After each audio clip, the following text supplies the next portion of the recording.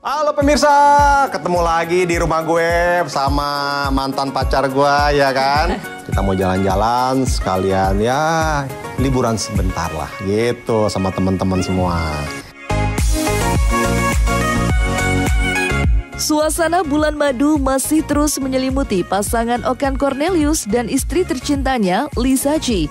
Jadi wajar saja jika pasangan ini kerap menghabiskan waktu senggang mereka dengan pelesiran ke sejumlah daerah.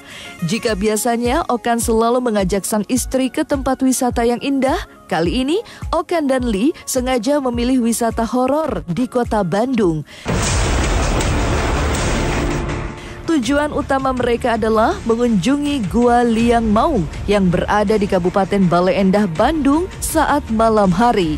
Goa yang kabarnya dijaga oleh harimau terletak di atas bukit ini membuat Li dan Okan butuh perjuangan untuk bisa sampai ke mulut goa. Ditemani oleh para psikolog spiritual Neng Agra Inezia, maka seperti inilah perjuangan Okan juga Li ketika mendaki bukit terjal dan curam menuju Goa Liang Mau.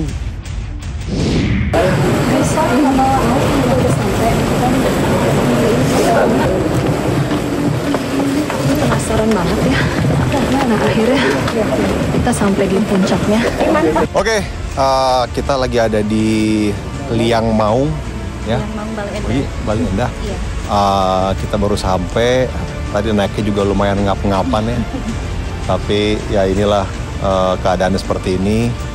Uh, jujur belum pernah dan penasaran. Kurang lebih seperti apa nanti di dalam? Nah, di dalam itu nanti kita akan uh, lihat ya sejarahnya ini dulu tuh apa, tempat apa, dan dulu tuh siapa aja petinggi atau para uh, raja-raja yang pernah datang ke sini. Uh, kalau boleh tahu misterinya apa ya? Misterinya itu dulunya ini tempat ini adalah tempatnya para harimau. Mau harimau siluman, mau sirum, uh, harimau jadi-jadian, harimau asli pun juga dulu ada di tempat ini. Dan memang gua mau ini sebenarnya dulunya itu tembus sampai ke daerah Ciparai, begitu. Oh jauh ya? Iya lumayan jauh. Cuman karena adanya ya ke sini ke sininya adanya apa sih pembangunan gitu, Oh, iya. akhirnya ketutup.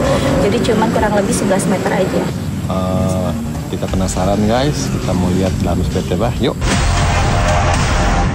Di bagian luar mulut goa terdapat patung harimau berukuran besar.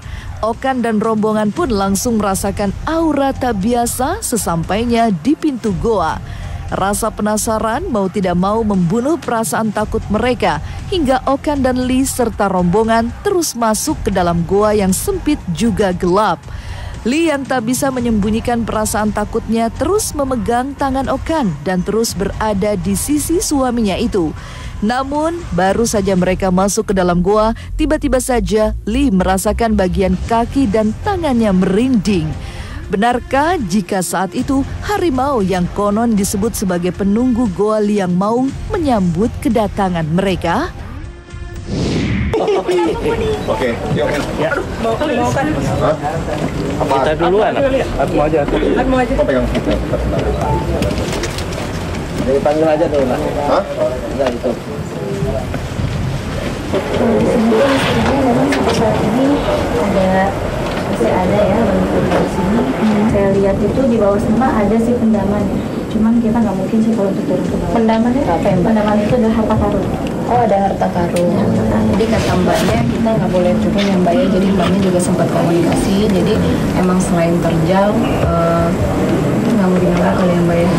Kalau ya, nggak mau diganggu, tetapi kalau kita ke sini itu hanya bertamu dan bersilaturahmi. Apa-apa ya. Kalau kalau bertamu Selama, aja nggak selama apa-apa ya. niatnya baik ya.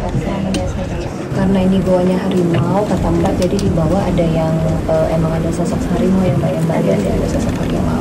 Aku udah mulai merinding banget. Jadi sebelum Mbak berinteraksi, aku emang udah putar balik dulu karena aku udah feel. Jadi aku mau keluar gitu. Terus baru Mbaknya berinteraksi. Aku udah, udah tarik tangan dia duluan. Karena kaki aku udah mulai merinding, tangan aku udah mulai merinding. Kayak ada yang mau gigit kaki aku. Jadi dia putar, aku putar balik, baru Mbaknya berinteraksi ya Mbak ya. Iya. Yang Mbak lihat gitu bukan? Iya. Kayak di belakang ada yang memperhatikan saya atau apa gitu tuh. Tahu tahu banget. Cuman sebelah mana sebelah mana. Iya, cuman nggak nggak berani gitu. Ah nggak mau nggak mau lihat nggak mau lihat gitu. Ini aku merinding terus loh mbak.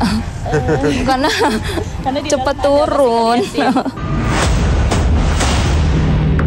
Keberadaan harimau serta banyaknya peristiwa metafisika yang kerap terjadi di dalam Goa Liang Maung ini kabarnya membuat banyak orang sering mendatangi goa ini.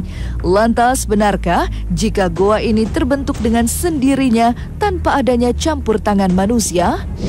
Ini adalah sesepuh dari eh, kampung atau guha yang tahu sejarahnya. Ini abah berdua ini. tempat ini bi- biasanya mah udah biasa jadi sendiri bukan buatan ini mah alam kalau tempat ini terjadi dulunya ya dulunya dulunya ini wow genting sekali maka orang tua merintahkan ke RT RT RW RW tiap bulan mulut harus menyalakan lampu Pemirsa, eh, terima kasih sudah ngikutin perjalanan kita. Eh, tadi kita ke Liang Maung ya, Bu Haji ya. Dan kita ada lihat beberapa hal-hal eh, menurut penglihatan Bu Haji. Tadi ada harimau ya Bu Haji ya. Eh, penjaganya gitu loh. Tapi karena kita niat baik, eh, jadi tidak ada hal-hal yang tidak kita inginkan dan semuanya juga bisa turun dengan selamat.